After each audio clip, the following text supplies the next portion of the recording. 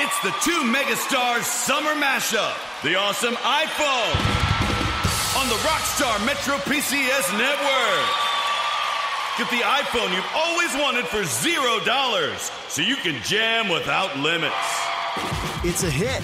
Get an iPhone SE on us when you switch. Metro PCS. Coverage not available in some areas, plus sales tax and $10 activation fee. Requires port in of number not currently active on T-Mobile network or on Metro PCS in past 90 days to an unlimited LTE plan. See store for details and terms and conditions.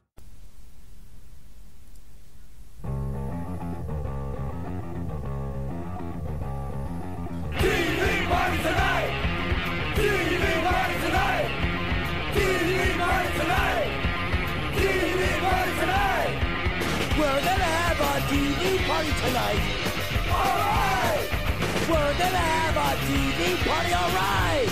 Tonight! We've got nothing better to do than watch TV and have a couple of brews. Everybody's gonna hang out here tonight. All right. We'll pass out on the couch. All right. Tonight. We've got nothing better to do than watch TV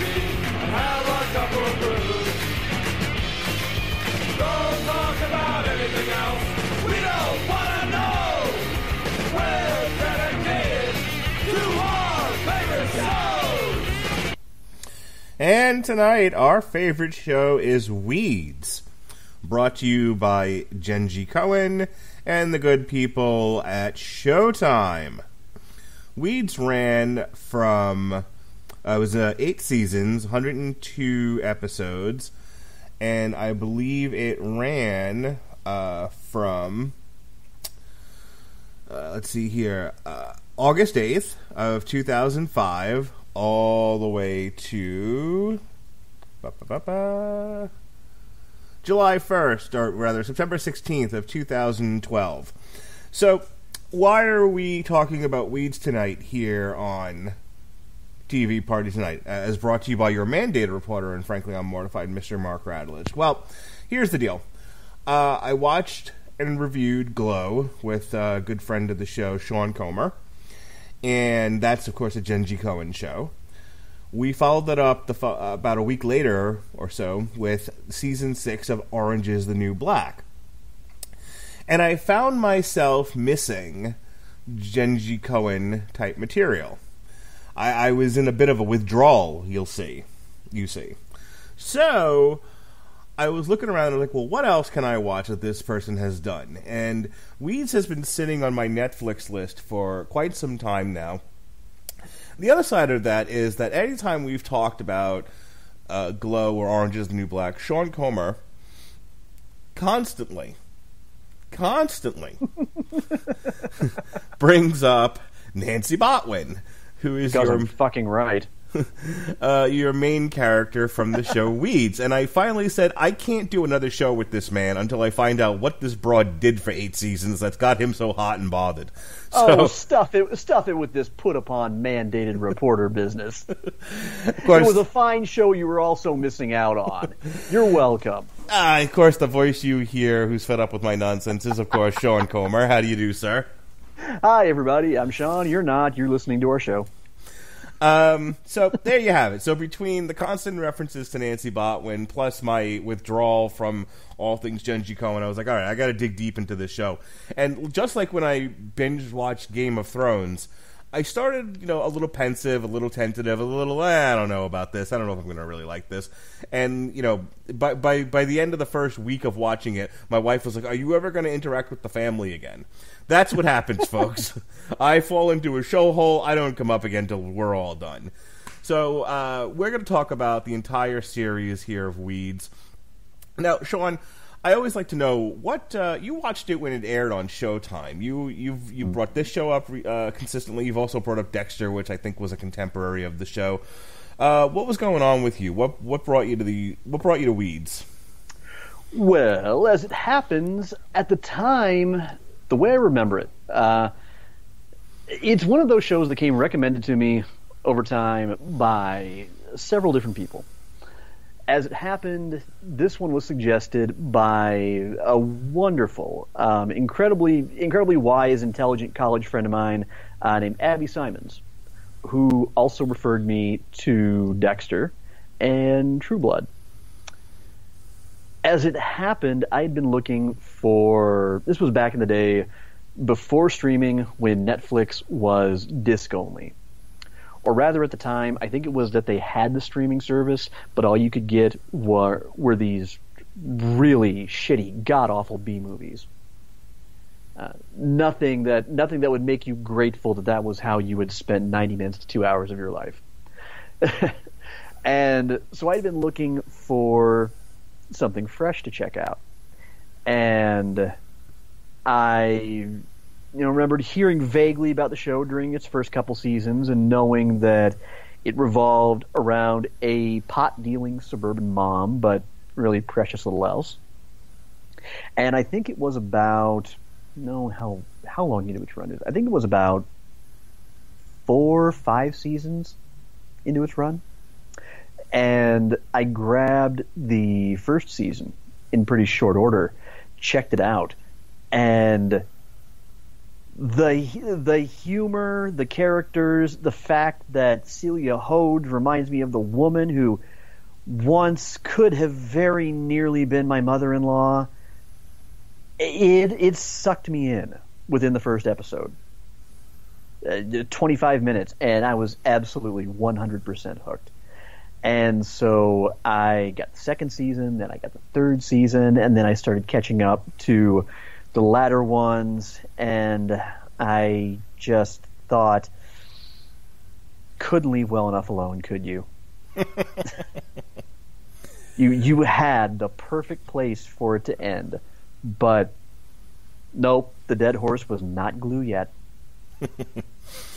yeah, there there's almost two shows here, and I want to talk about this right off the bat we all know where my tastes lie. Right now, um, a contemporary show that I'm interested in that pretty much like sums up the kind of show I, I like to watch the most is Snowfall uh, on FX, which is the story, kind of, sort of, maybe, about how the CIA sold uh, crack in Los Angeles. You know how crack came to Los Angeles, and I don't want to get into whether or not that's a real thing.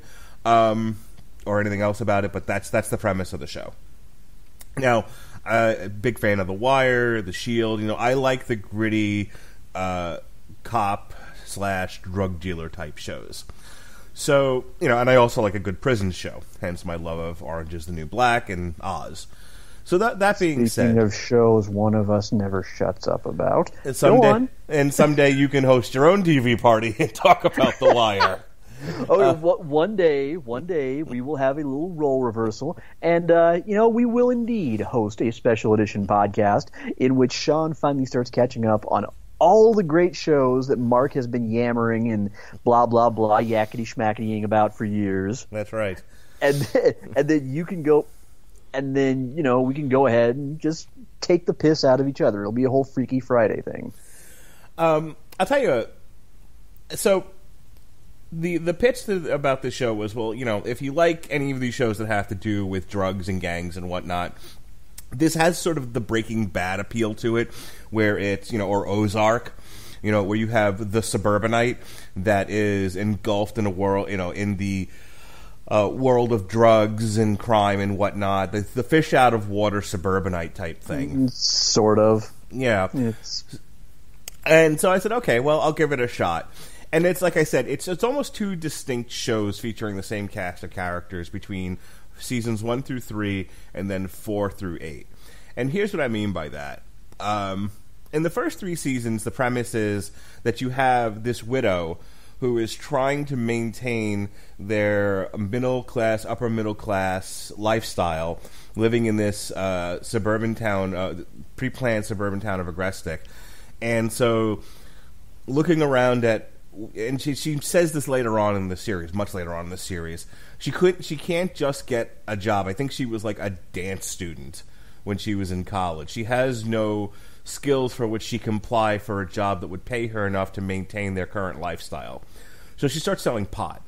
So right off the bat, you know, again, kind of like our lead in Breaking Bad, you have somebody who's down on their luck who makes uh, who makes a decision to do something illegal for the greater good.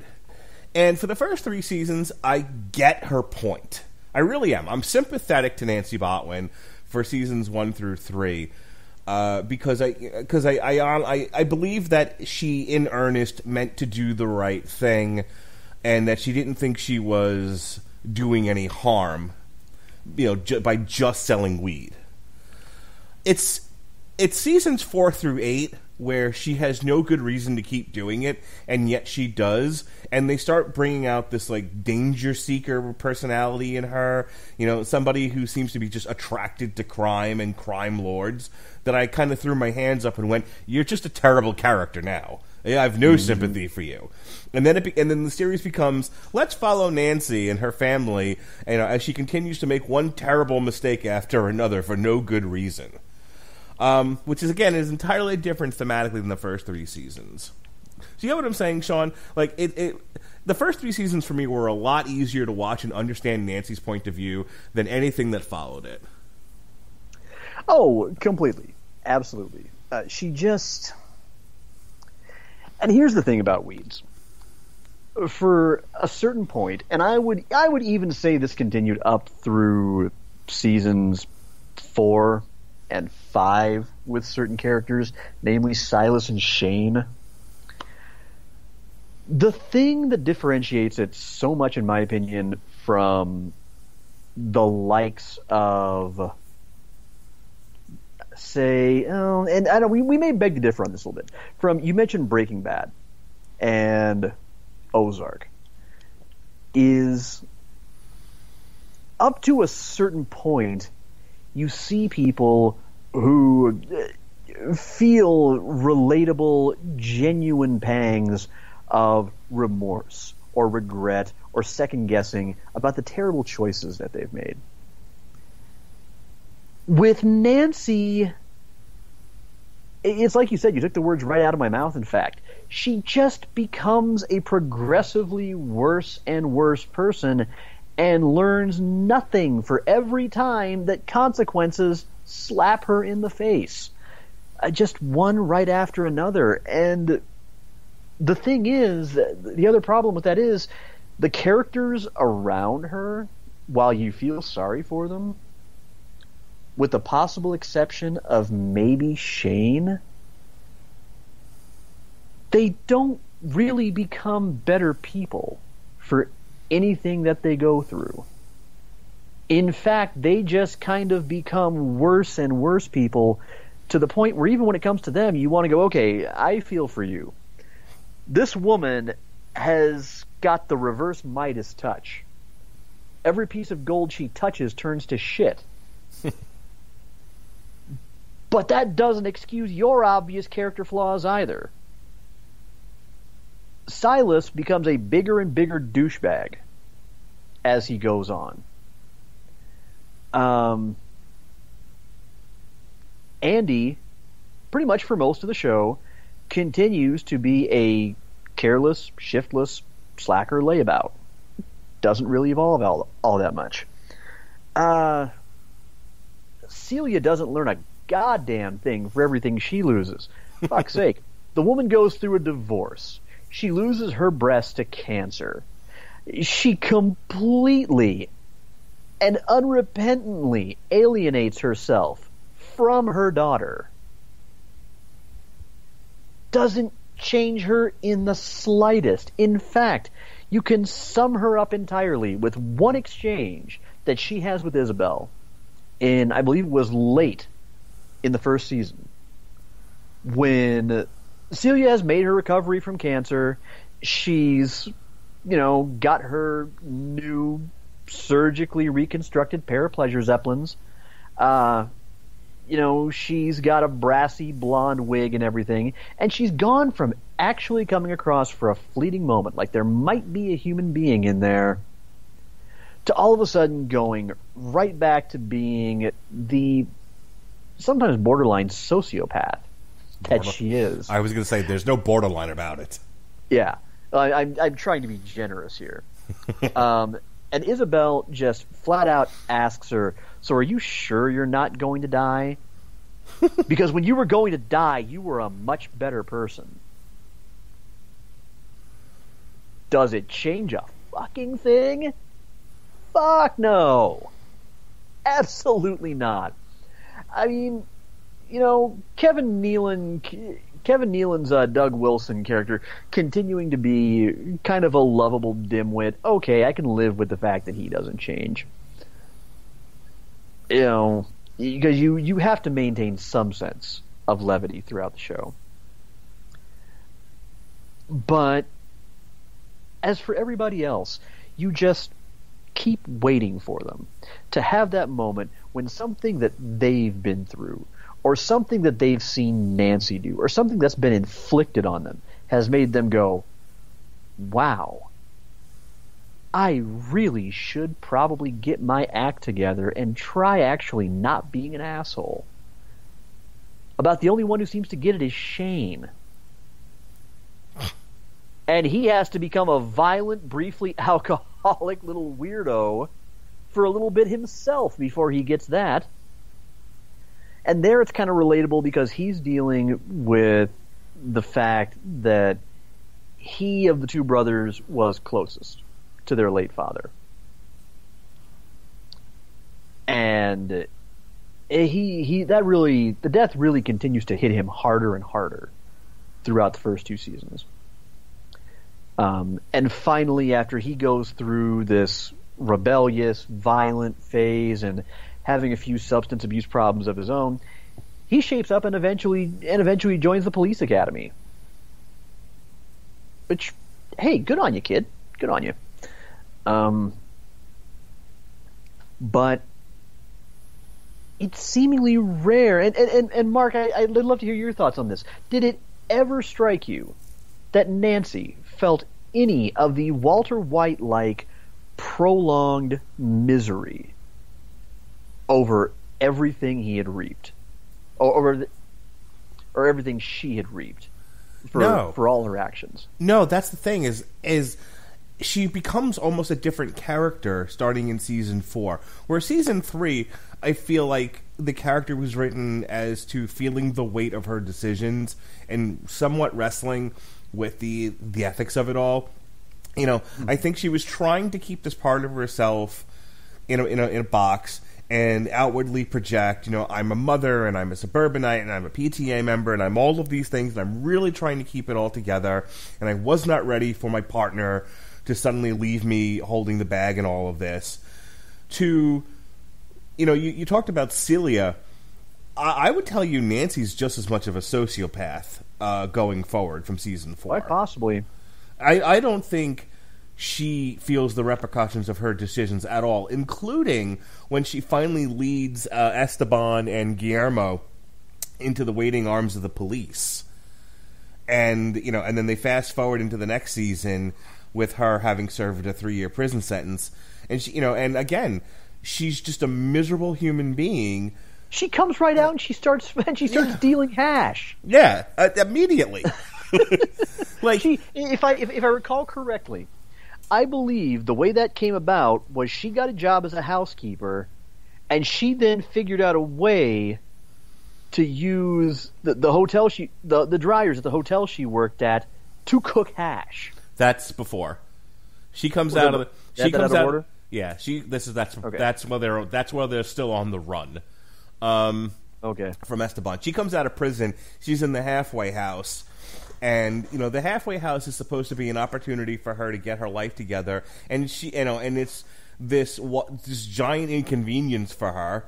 And um, I, I think she sort she leans on Doug to get her a job at the uh, at the hedge fund that he's currently working at, and within within hours of being there, tries to push the local uh, local pot dealer out of that out of the out, out of that market so she can take it over.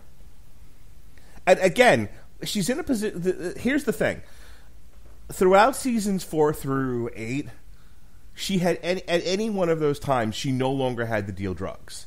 They she didn't have this enormous uh, prefab suburban house to take care of anymore. Right? They were living with uh, they were living with her father-in-law.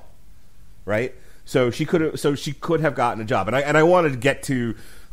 I want to get to the front that she's running in, in a minute because that also annoyed the shit out of me. But The bakery. no, uh, the uh, the maternity store. Oh, gotcha. All right, so once they've left Agrestic, she know you know the, the argument that well I have to do this to maintain our lifestyle no longer applies. They're living with the father-in-law who then takes off for Europe. They're, so she's living in a house for free. At that point, she could have just gotten a job, and you know that would have been it. She chooses to to she chooses to hold on to this lifestyle and work for Guillermo. And when Guillermo says you're really no good to me in any in any role other than being a proper front, she fights it and she makes all of these decisions, you know, and goes out of her way and puts herself in harm's way because she wants to be closer to the criminal lifestyle. And it's like, okay, at this point now you just want to be a criminal. And this is what and and, and there's no and it's almost as if being a mom to Shane no longer matters to her. It's like, well, you know, her her parting words in season three is uh, are something along the lines of, uh, "I'm sorry, Judah, I tried," and I feel Yeah. like that line resonates through the rest of the season, uh, through the rest of the series, where it's like, "I tried being a mom, I failed, I give up." But And let's let's let's play a little game of before and after here, shall we? Um, you, you talk about Nancy's history with fronts in the first season when Doug introduces this concept to her. At one point, she looks at him with Mary Louise Parker's endearing softball-sized doe eyes, those big, big, beautiful eyes, and says, is there a possibility that my front might one day become my real business? I, I genuinely hoping. Wait, you mean to tell? Wait, maybe one day I could do this instead of slinging weed. And she actually proves to be not exactly terrible initially at running a bakery. You know, she she has a chance, but she goes from that to then having a chance to possibly maybe build up her own successful maternity store. No, fuck that. I'm just going to use that to cover for the weed. I don't want a legitimate business. Screw that noise. well, that's the thing. They asked her, "Don't worry about the back. Don't worry about the underground tunnel to Mexico. Just run the store." And even that became too difficult for her. you know, because like, uh, here's where I was going with this. I feel like in the first three seasons, she was trying to be a mom to both Silas and Shane. She really was in earnest, doing her level best. When it all goes to hell and she burns Agrestic down with the help of Guillermo, it's almost as if she's resigned to and this is what I wanted to say before. We have two counterintuitive things going on. On the one hand, I don't think she wanted to be a mom anymore. I don't think she wanted to be a suburban housewife. I think she'd gotten a taste of the crime uh, the crime world and said, "This is what I want to be. I want to be a big time drug dealer." Okay, well, okay, and, and and here's another here's another before and after for you. Okay, um, hmm, first season roll, first season rolls around, and Nancy experiences just exactly this very same problem, and gets herself very nearly fucked up over it. Uh, she experiences her first drive-by while she's standing around in Heylia's kitchen, just you know, chatting it up with um, uh, her and Conrad and um, Celia's daughter. Uh, I, I forget her name. I, She's played I'm by drawing a blank. Indigo. Yeah, the one, the, the one played by Indigo. Um, and just rattles the shit out of her. And then she finds out that she's being pressured by a rival dealer because she tried to expand onto the local college campus.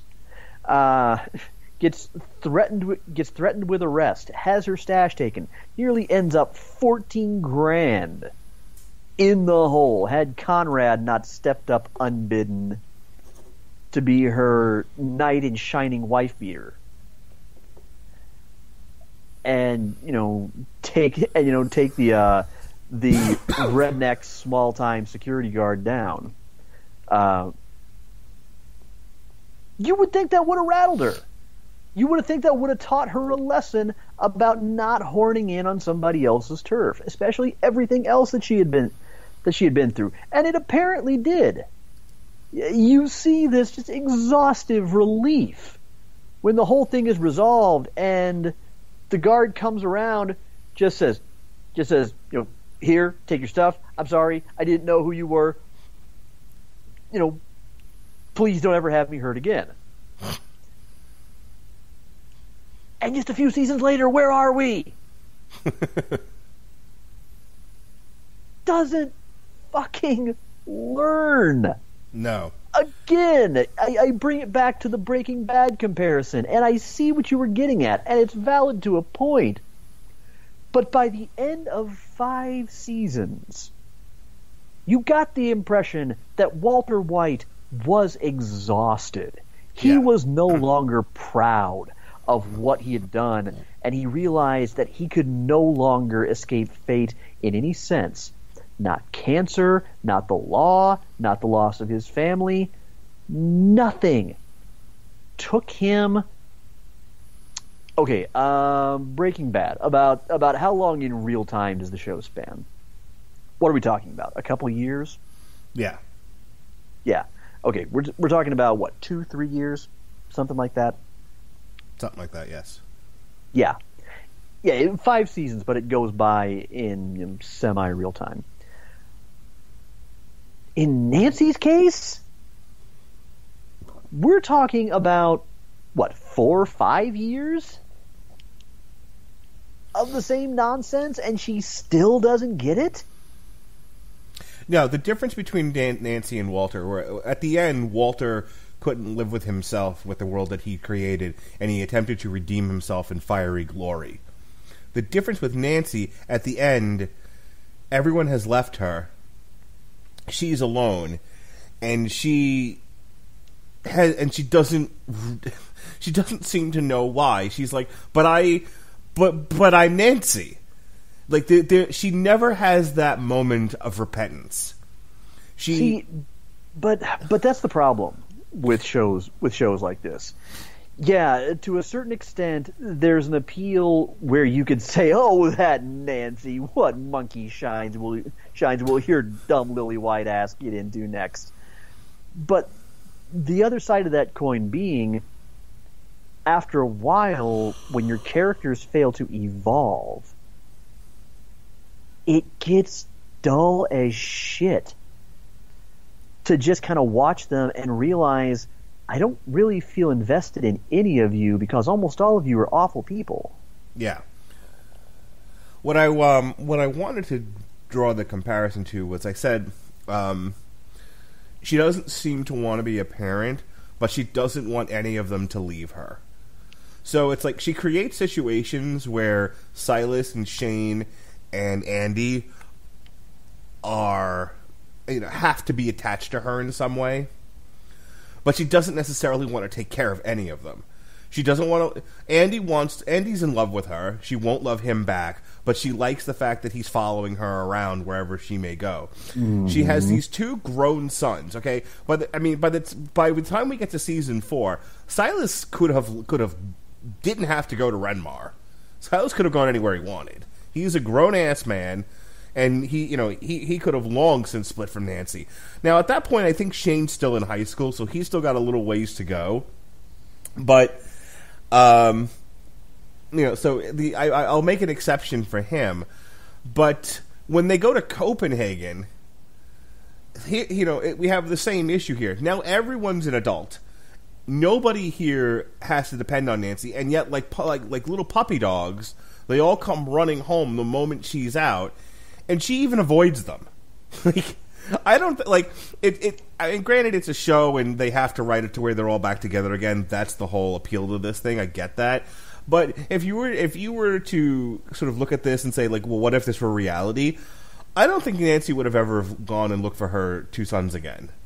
I think she like she she satisfied the need to be a mom with Stevie Ray, and at that point, she almost no longer had any use for Silas or Shane, which makes season seven the most frustrating and awful season of the whole thing. This is the one where they're in New York and the whole uh, the whole thing centers around her and Silas feuding over the New York pot business to the point where they're sabotaging each other. And I'm like, okay, so whatever whatever hook there was in this family being together and muddling through and dealing with the consequences of her actions is now gone, and she's just an asshole, surrounded by people who they have to write, you know, they have to write them jumping through hoops and uh, hoops, and you know, and writing circles around to try to figure out how they're going to keep them all together. There's not a single. This is and this is where I'm going to make a comment about the writing. About season seven, the writing really falls off for me because there's no good reason why any one of those characters should have gone back to her. Maybe Shane. Shane probably is the only link in that he murdered somebody for her. I'll give him that much. But so why Silas left Copenhagen, there was no rational reason for. Why Andy went back to her, there was no rational reason for. And might I say, after season three, I don't I don't understand why Kevin Nealon was still on the show. like I feel, I feel like that was a note from Showtime. You know, where they pitched season four, they were like, okay, the family's on the run. They're going to go live in San Diego. We're going to bring Albert Brooks on the show. It'll be a whole thing. And somebody on Showtime said, hey, Kevin Nealon tests really well for some odd reason. Figure out a reason for him to follow them to San Diego. What?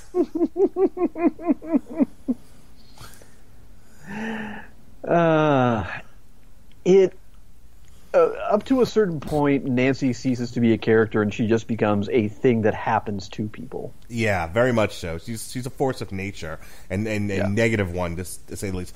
I want to take a break from beating up on Nancy and talk about Celia because uh, what what I think is masterful about the show is that as much as we're we're beating up on Nancy and there's a lot to dislike about her from season four on. She's still a charismatic character. I would, you know, she's kind of got that Hulk Hogan quality, where even if you want to hate him for all the bullshit that he's done, he's still got such, he just oozes such charisma. It's kind of hard to.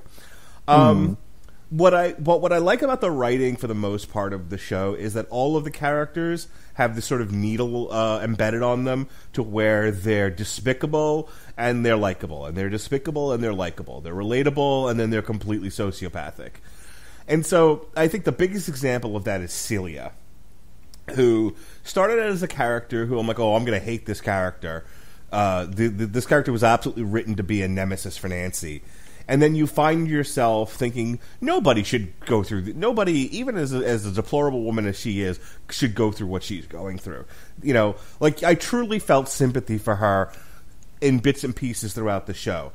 And then it's almost like your reward for feeling any kind of sympathy and being with this character is for them to make a final decision that's so awful and so stupid and so bad. You're just like, why did I ever feel bad for you ever? You know, her decision to out drug deal Nancy and you know, try to become a kingpin in her own right. I was, I just found myself like if I had had paper in my hands, I would have just thrown him into the air in frustration.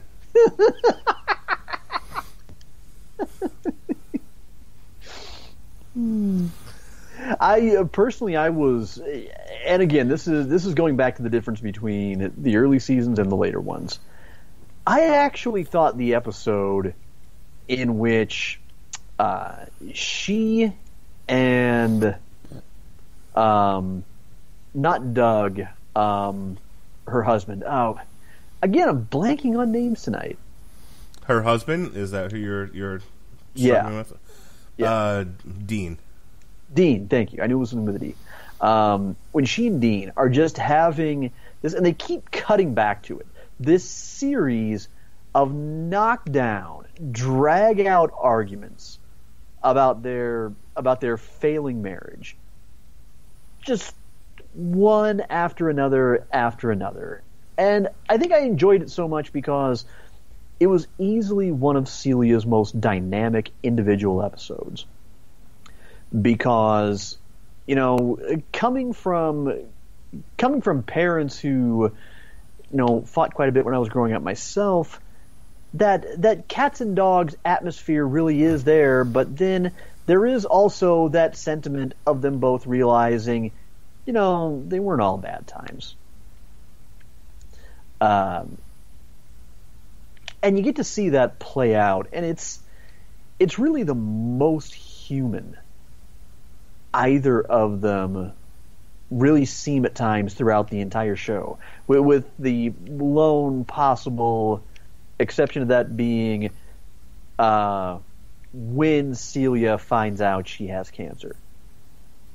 And even then, that one just kind of spins out into her just going truly almost comically off the rails. Like, uh, like it, it becomes exaggerated just kind of how just how far down the rabbit hole she goes. But I don't know. I mean, am I am I pretty much right about Dean that he more or less just kind of remains a bit of a schlub the entire season series, or did I miss something? No, he. Um, I thought the most interesting thing about Dean and it was one of those classic, as we're finding out, Jenji Kohan things where they she serves you up an hors d'oeuvre of something, and you're like, "Ooh, this is a tasty little pig in a blanket. I'd like more, please." There isn't any more. What do you mean? Well, that was it. It was I literally spent twelve hours making one pig, one delightful pig in a blanket.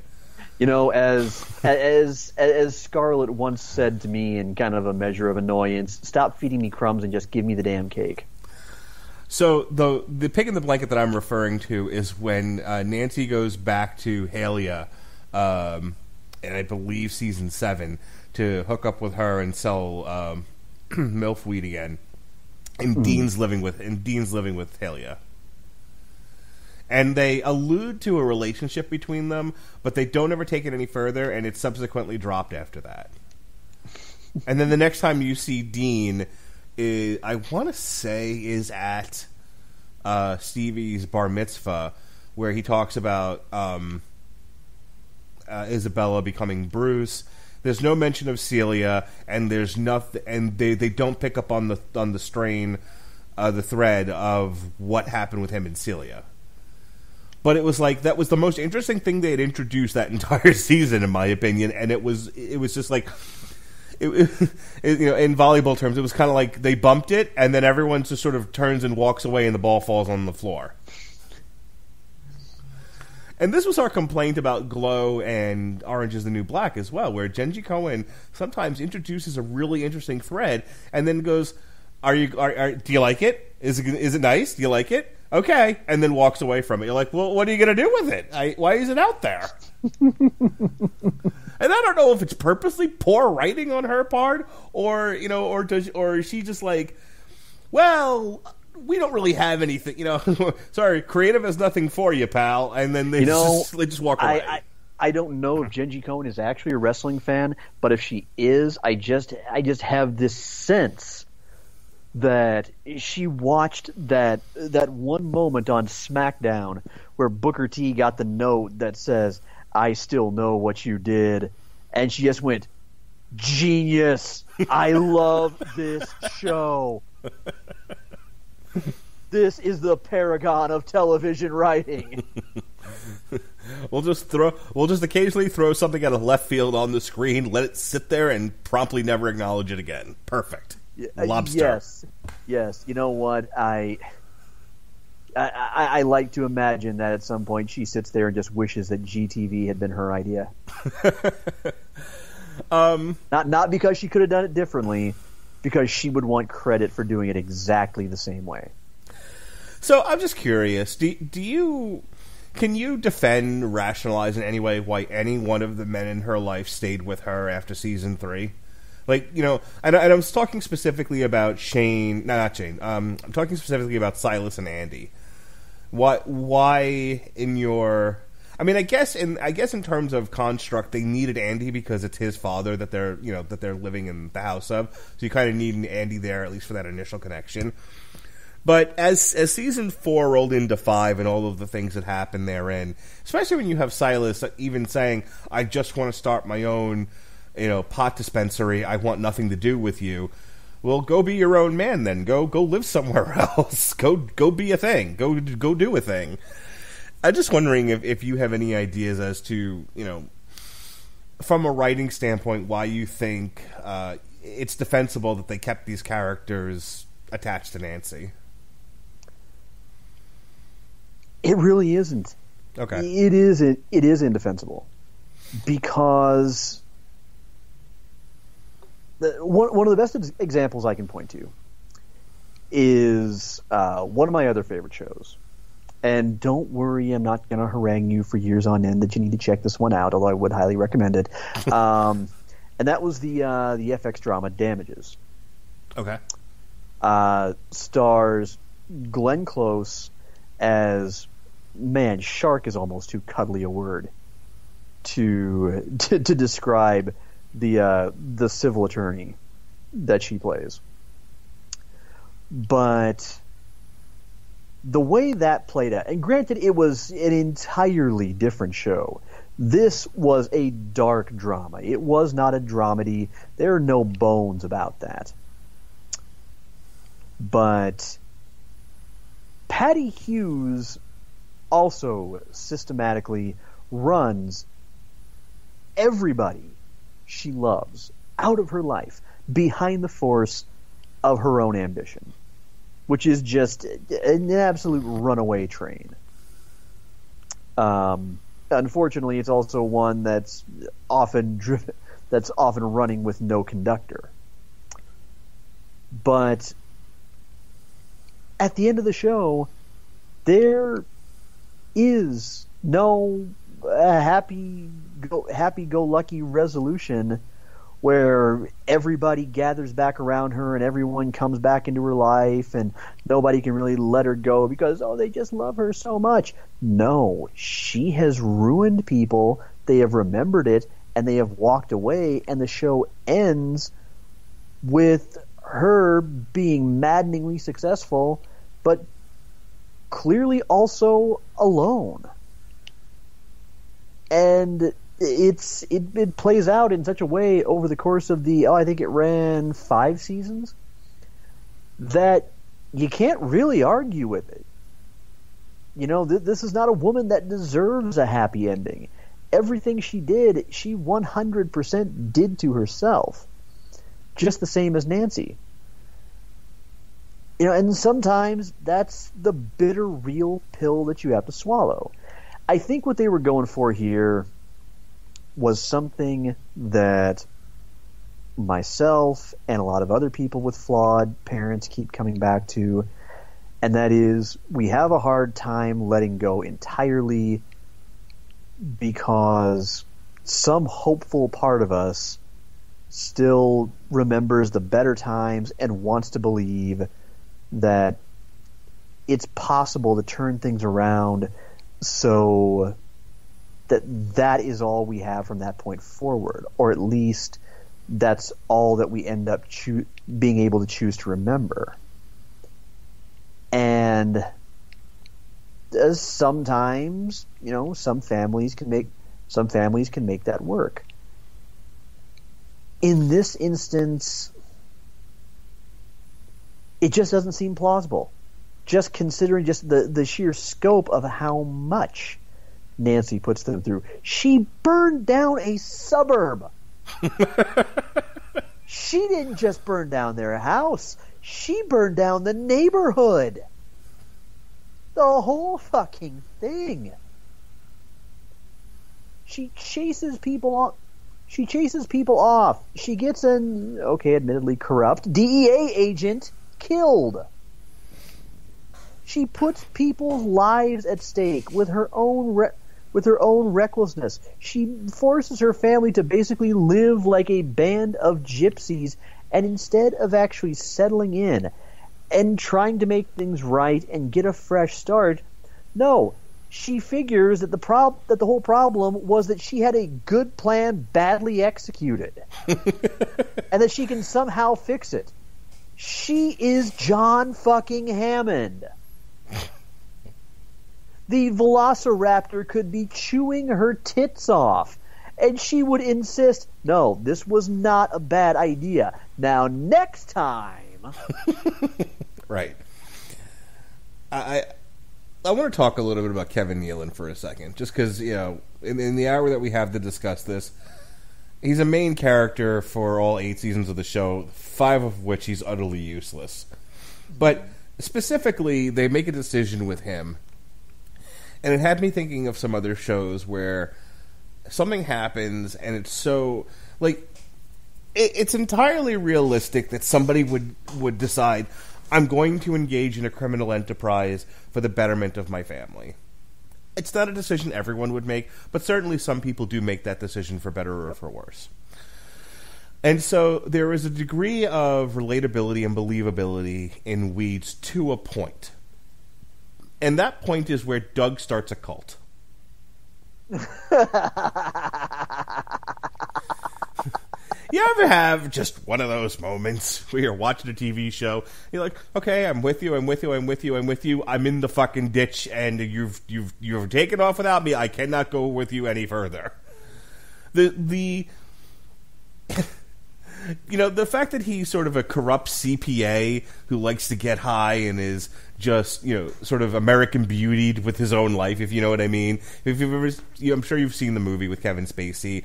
You Oh, know, sure. the whole movie's about midlife crisis and uh, just sort of looking at the mirror and seeing you know and seeing the reflection back is this you know this pale suburbanite, dead eyed, uh, dead eyed comer goer. And it's like, okay, I, I get that. Boy has boy has Hollywood had a time with that particular motif. Okay, um, if you were to believe Hollywood, all of us, all of us middle-aged white men hate our fucking lives and are this close to killing ourselves. Um, uh, or Not or, all of us are. Not all of us are unfortunately so close to sticking it in Mena Suvari. um, you know. But uh, and then you have so you have this Kevin Nealon character who's much of the same thing, and it's fine for a few seasons, and he's and you're right, he's great comic relief. At which point, it's like I can't remember a good example of this, but it's right on the tip of my tongue. Where you have a character who started out moderately dumb. Okay, like Homer Simpson. Okay, is probably a good example of this. Homer Simpson, the 1st couple of seasons of The Simpsons, is just is oafish, but he's not altogether stupid. Same He's a lovable oaf. The same thing with Peter Griffin. Peter Griffin is supposed to be a mo- a, a, a mock uh, a mocking uh, character of the TV sitcom Dead. It's not until later seasons that he's certifiably retarded. Yeah, it, or you know, in the Simpsons case, enter jerk ass Homer. Right. You know, it, it, I think it's later seasons in The Simpsons where Ho- you know where Homer's having arguments with his own brain. Um, you know, and and I, I think they even said on The Simpsons over the years they've just made him dumber and dumber and dumber. And that's kind of what happens with Kevin Nealon on the show, where it's like the first three seasons, he's just kind of a you know a dead-eyed suburbanite who, who who's just trying to find a way to get through his humdrum life. And then he decides he's going to follow Nancy because she's making good life decisions. and and he appears to be just on the sh- he appears to be like Mxyzptlk. He's just on the show to cause fucking chaos. You know, Silas has a perfectly good dispensary going. Eh, I'm going to eat up the profits and smoke them. All right. yeah. You know, the family's on the run. He essentially becomes Andy's fucking sidekick. Uh, and now and then and then when he's in New York, you know, he's just he's like, like we want you to be a CPA. I don't want to be. I'm kind of done with that. He was like, yeah, but here's an opportunity to use steroids and cookbooks. Sure, why not? He, he basically becomes Quagmire. He becomes Norton. Mm-hmm. He beca- he becomes oh, what was what was the name of the womanizer from Three's Company? Oh gosh, um, I remember the name of the bar. It was Wait. the Regal Beagle, but uh, Jack and oh, I know who you're talking about. But okay, the womanizer from Three's Company neighbor. Got it. Yeah, yeah, that guy. That, that's basically he becomes the wacky neighbor with the the wacky neighbor with the get rich quick schemes. Mm-hmm. He's Mrs. Ochmonek from Alf. Yeah, there you go. There you just go. progressively weirder and weirder and weirder to the point where it's not even self parody anymore. It's just you're just one you're just one walking gag, you know, and and at the point where he has such cult of personality that he actually literally forms his own cult. I'm like, I the show has lost all believability for me. You know, at least Nancy was made to, at least on paper, pay for her crime. She did three years in prison. You know, she's had to start from the bottom again. She suffers losses. Mandy, you know, for, for all of her bad mistakes that she makes, for all of her choices, Nancy suffers. I don't think Doug ever suffered. to be uh, like, to, uh, or at least he had any kind of self awareness that he could acknowledge the suffering, and then to give him in writing such a reward that somehow like this, the, what somehow he had this inner quality to where people would follow him in his nonsense. I'm like, okay, if you're tr- if you're writing a joke, a, a very complex and extended joke, fine. Some people might look at this and be entertained by by Kevin Nealon being a cult leader. I just looked at it and I was like, well, this seems to be an exercise in jerking off. Doug Wilson is a character that would have been greatly improved by actually having a laugh track just for him, because at least then you would have gotten the impression, fuck it, at least they're being honest about it. Right. Yeah, he uh like one of those bits on Family Guy where where they actually have the audience track. yeah, yeah, precisely. But but no, the um God, I, I, I hate to use an axiom so trite as jump the shark, but my but my God, that moment when he starts the cult, it's just wee. oh, hey, Bruce. You get the feeling after about season five, Jenji Kohan really wanted to just end the show.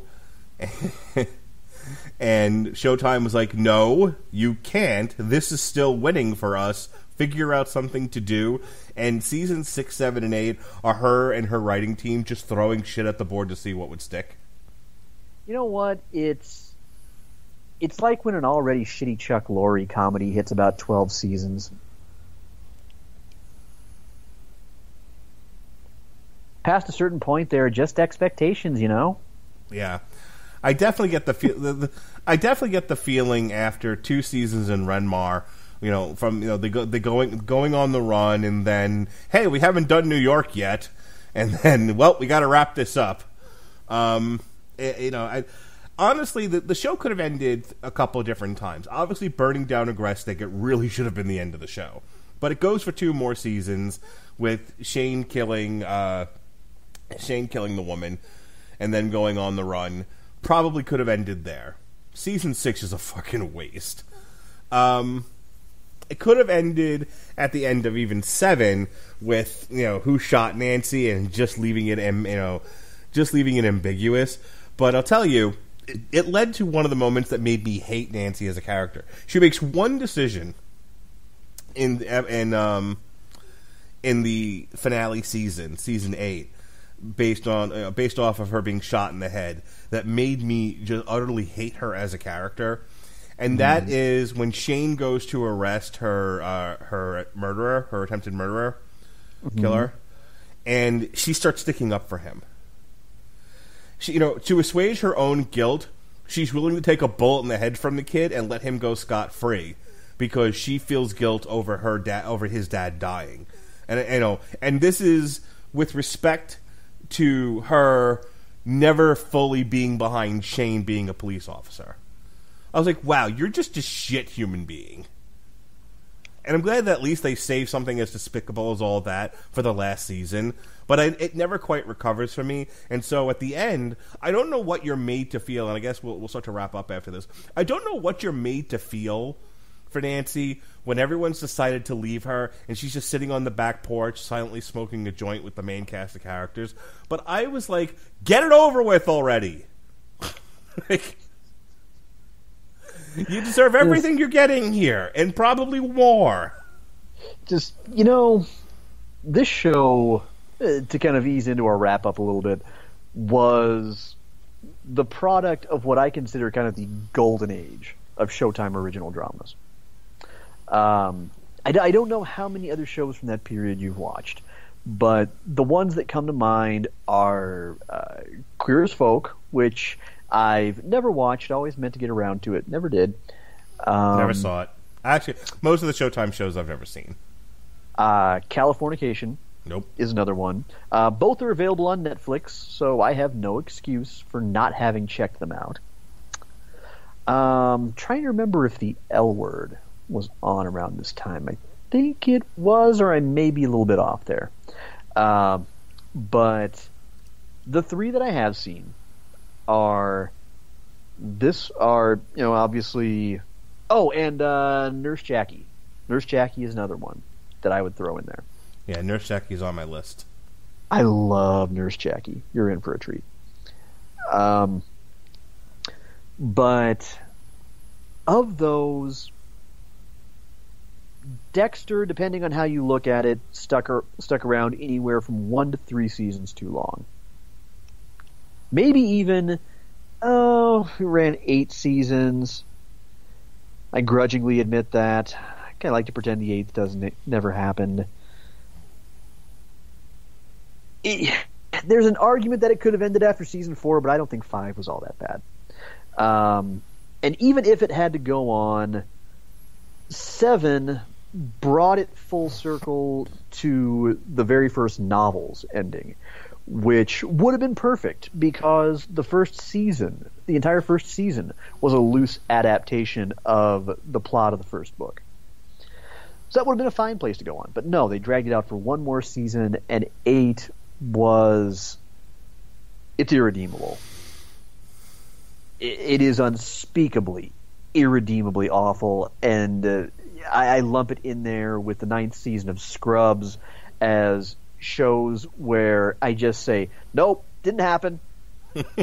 that that se- that season never happened. Not even in It's a Fever Dream way. In a, if I decide to rewatch that show, I'm not watching the last season. I will end this show the way I want to. So that went on a season too long.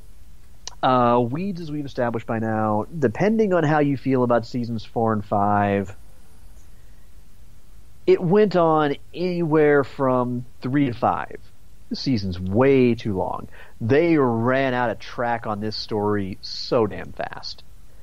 Um, three was probably where it should have ju- where it should have just trailed off because they just had nowhere interesting or redeemable to go with anybody after that. Of the shows I've seen all the way through to completion, and I admit I haven't, I still have to get through the rest of Nurse Jackie, which I intend to do soon. Uh, United States of Tara, I think, was the one that it ended prematurely. It was canceled quite suddenly, but somehow the ending of it still pretty much works. The characters, de- the characters developed in meaningful ways for everything that they had been through. Uh, there was a sense of satisfaction with where we were leaving most of them off. Uh, they had grown. They weren't the same people that we started off uh, season one, episode one with. It felt fine. You know, um, to borrow a line from the death of Deadpool, Pool, I can live with this ending. I think that's it. I may have I may have that line wrong. Uh, Jesse Starcher, Ben Cologne. If I if I cocked that one up, feel free to point it out to me. Um, but I think I think I got that one right. Um, this uh, this one, God damn, I don't know what it I don't know what it is, but they just had no idea when to stop. When I when I think about TV show endings, uh, you know the three the three characters that I go to that feature most prominently in my head are sort of they got what they deserved at the end of the show. Um, you have McNulty in The Wire, who I don't want to give it away, but you know, by the end of it, he's by the end of all things, he's lost everything, and and he and he brought it on himself. Um, same thing with uh, what's his face from The Shield, uh, Vic Mackey. Vic Mackey. You know, Vic Mackey. It's it's kind of an ambiguous ending, but you but, but up to the point where the ambiguity, you know, where there is ambiguity. Uh, he's lost everything. He's lost his family. He's lost his job. Um, he has no attachments, and he's just sort of adrift. And he's brought it on himself. Uh, Walter White's dead. Walter White goes out in a blaze of glory. but in doing so, at the time that he makes that decision, he has lost everything. Um, I feel like Nancy. Nancy is one of those people who should have lost everything, and in a way she does, but we don't necessarily see it. You know, it's alluded to. It's going to happen. Everyone's going to everyone's going to go their own separate way, and she is going to be alone. But the show ends just before that, and I think we're kind of robbed of that McNulty, Mackey, Walter White moment of this is this is where all your decisions led you. Instead, you get this reflexive moment where they're smoking pot on the back staircase, and it's like, hmm. I feel like for all this talk that we have of the show should have the show ended way too late, the finale ends a little too early for me. Um, I feel like I feel like Nancy should have been back there alone, and I think, think it was a I think it was a missed opportunity, as if to say, you know, as if Gen- Jenji Kohan was very protective of this lead and didn't want her to come across, didn't want the audience to judge her too harshly, and so her the final images of her with her family around her, even though they won't be there in the next frame. And I'm like, mm, I would have, I would have preferred a more pensive, reflective McNulty Mackey moment. You know, mm-hmm. I don't, I don't know if you think, but that's that's sort of my parting words on the subject. Is you know, it, it, it's an entertaining show, but I feel like unlike the writers of The Wire, The Shield, Breaking Bad, I feel like Jenji uh, made it a point to put some protective covering over this treasured character that I don't think deserves it. No, no, she she doesn't, and and uh, again, that's the problem. Few of her characters ever do, and maybe at some point uh, she'll explain in such a way that she goes, "Well, yeah, but that's kind of what I meant." is that you know not everybody not everybody gets a moment of redemption. Some people are just terrible. Okay, why do you think we want to? Why do you think we want to watch shows where your main characters, the ones we're supposed to care so much about, just continuously become worse? it makes me wonder how um, how Ruth and Debbie and uh, what's her face on Orange Is the New Black. Come on, help me. Uh, which Piper. what's Piper? oh, Piper. Okay, I, w- I was thinking of Glow for a second. I was like, which what's her face on Glow? awesome Kong? What are you talking about? Um, no, it makes me wonder how where we're going to leave Piper, uh, Debbie, and Ruth at, you know, at the end of all things with their respective shows. You know, I wonder if she's if Jenji Kohan has matured as a producer and a writer to where you know both shows will end with our leads laid bare but then again, Piper and and Ruth and Debbie up to this point haven't made nearly the amount, the enormous amount of horrible decisions that Nancy has. You know, in no, in, no. in the pantheon of the Jenji verse, uh, Nancy is by far the worst character she's written. All, all things considered, Ruth made one bad decision. Yeah, she made one decision that she then spent two seasons trying to dig herself out of a hole from.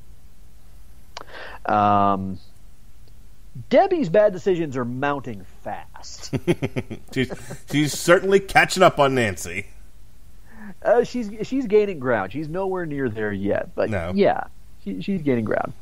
Piper in the last season, you know what? It was like watching. It was like watching a longtime professional wrestler who spent most of his career as a heel and but has become such a legend, such an icon that they're allowed to go out as a face. It was it's it's Andre the Giant at the end of WrestleMania six. I was thinking, you know, I, I was actually thinking, you know, Curt Hennig, Mr. Perfect, you know, where you know at, at, at towards the end there, he was just kind of doing a thing, and, and it didn't really matter anymore. His, his, best days were behind him. He's just sort of there now, dependable hand, but not really doing much of anything. Mm-hmm. Uh, well, again, I, I kind of go with Andre because, you know, Piper has really spent most of this show as almost an outright villain. Mm-hmm. And then right at the end of this most of this most recent season, um, she finally seems to get it together. Yeah. And it's it's like the moment when Andre finally snaps out of it and you know dumps Haku over the top rope and starts paintbrushing Bobby Heenan, and he gets to ride out of Skydome to the appreciative cheers of the Canadian crowd. It does make me wonder if anyone listening to this podcast ever goes back and tells Jenji Kohan how often her shit's compared to professional wrestling. Damn, but that's a good question. and not always in good ways. Well, I can't think of any way better way to end this show, so I think that wraps up our discussion of weeds. I've gotten that monkey off my back. I've gotten it all off my chest. I'm prepared to move on with my life. Speaking of moving on with my life, um, let's see. We've got an on trial on September 4th for Barb Wire uh, from Pam Anderson. I'm sure that'll be a lot of fun. And I think that's your last appearance. Um, no, Wait, what? Wait, what's the date? September 4th. Oh, this is gonna be interesting. this is gonna be fun. Um, so, and then if Sean can get some of his uh, friends together who are interested in doing so, we're going to do a TV party tonight on September 13th for uh, Insatiable, featuring former Jessie star uh, Debby Ryan. So I'm looking forward to that. Uh, in addition to which, we've got TV parties for Legion, Cloak and Dagger, The Predator uh, Damn You Hollywood, Iron Fist Season 2, and speaking of suburbanites and criminal situations, Ozark Season 2. We've got Metal Hammer reviews for Alice in Chains, Bullet for My Valentine, The New Clutch, Corporal Kalani, uh, Therapy with a question mark, and uh, Power Glove as we get into all covers all the time in our, in the month of October. Over on the comic side, we've got uh, X Men Legacy. This is one of those shows where I hope you're not interested in hearing what the comic's about because we shit all over it. Um, we've got uh, Barb Wire, of course, the impetus for the on trial we're going to do. We've got uh, Archie versus we've got Archie versus Predator, the Snagglepuss Chronicles, the last Iron Fist story, and of course, uh, kicking off uh, in October, our month of horror comics, Deadpool, Dracula's Gauntlet. So, um, lastly, there'll probably there's also uh, loosely on the schedule a TV party tonight for the new Matt Groening show in the same universe as Futurama, Disenchantment, with friend of the show in our Canadian office, David Wright. So that's uh, all the things we got going on. If you're wondering what's, we've had a shit ton of stuff go up this week. We've had a lot of stuff from source material. You know, Jesse went off and did his own thing with Evan Bevins. They talked the thing. They talked the new Fantastic Four. Uh, we also put up our Zatanna show featuring friend of the show from Honeysuckle Rose Creations, uh, Alexis Hana. Uh, Damn You Hollywood did our summer wrap up. Pat Mullen and I just recorded a TV Party Tonight Extra where we reviewed Earthquake versus Tugboat from the 1991 Super Three Super Tape Three I tape. saw that. And finally, uh, if you've been missing the the old uh, political shows here on uh, the Rattle Legend Broadcasting Network, Jesse Starter and I spent almost two and a half hours reviewing the new OTEP, where we probably reviewed the album for about twenty minutes, and the rest of that time was spent talking the politics of the album and you know and other uh, other topics. It was a long, it was a it was a great episode, a lot of fun. You know, he and I talking about you know the Trump administration and whatnot. But uh, somewhere in there, we also reviewed the silly album. So that's OTEP, Kult 45 on the Metal Hammer of Doom. That's all the stuff I've got to plug. Sean, do your plugs and take us home, buddy boy. Okay, everybody. Well, uh, for a change, I actually have some news to bring about. Uh, first off, earlier this afternoon, somewhat out of nowhere, I'd actually been working on it for a few days, I posted my first entry to my personal blog in close to a year. My first of what's hopefully going to become a regular series of them. Uh, head over to comercodex.wordpress.com. Uh, it's a very personal, introspective series, uh, much of it about recovering from depression for the past few years. Um, the title of the blog is The Reeducation of Sean Comer, part number one uh, Wiggle Your Big Toe. Uh, give it a look. It's long, kind of lays bare a lot of nerves, but it sets the stage for a lot more that I plan to write soon, both in the nerdier variety, and again in the more you know sentimental, deeper side. uh, you can follow me on Twitter at Comer Codex anytime you want for all of my various geeky pop culture ramblings. Uh, over on my Twitch channel, twitch.tv slash Comer Codex, I'm going to be on tomorrow night for anywhere from two to four hours, uh, starting from, and again, you'll want to check Twitter for this. Uh, depending on what I decide to do, I may start at six with some competitive Overwatch grinding. Uh, for my series The Forge, in which I try to climb my way up from being triple digit bronze up to about as high up the ladder as I can possibly go. Uh, right now, I'm almost on, I'm about 400 points away from silver, so might be an exciting watch. Um, and then starting from about 8 or 9 p.m. Central Time, I am going to start streaming uh, the Banner Saga 3 as part of my review for W2Mnet.com. The reason why I said that September 4th was going to be an interesting date is because that means that I am going to be literally recording TV, recording uh, on trial while I'm on the road. Like while I'm while I'm going to be either driving or a passenger because I am going to be driving 18 hours from Kansas City, Missouri to Salt Lake City, Utah to go man co-man along with my wonderful with my wonderful friend and traveling buddy Carrie, uh, the Honeysuckle Rose Creations table at Salt Lake FanX Comic Con.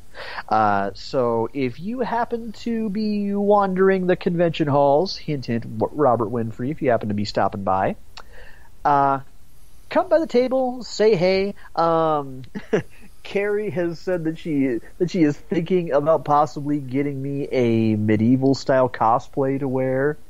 So I may be in costume. If not, uh, look for the N7 armor stripe hoodie and the chap with the long hair sitting in front of a laptop or tablet. Can't possibly miss me, and uh, extra bonus points and many, many huge jet bear hugs if you will bring me by something caffeinated.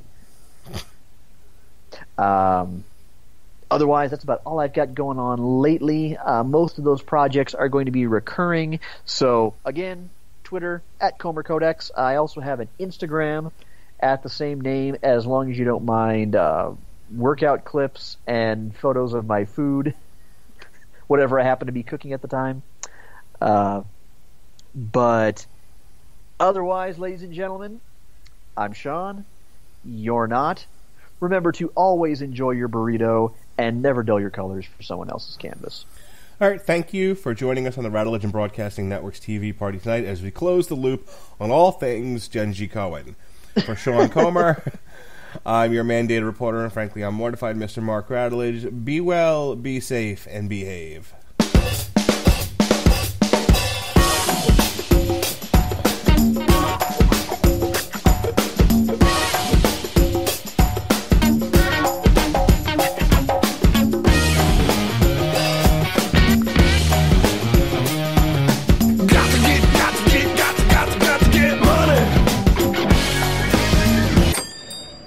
Welcome to the Total Wireless Store, where total confidence awaits. Our daughter's off to summer camp and we're worried our network coverage won't reach her. Don't worry, you got this with Total Wireless. Our phones run on the nation's best 4G LTE network. It'll be like she never left. The nation's best network? I feel better already. Now you can focus on how you're spending your summer. Discover the Total Wireless stores and get total confidence. The latest phones, the best network, all at great prices. Now open in Miami. Refer to the latest terms and conditions of service at totalwireless.com.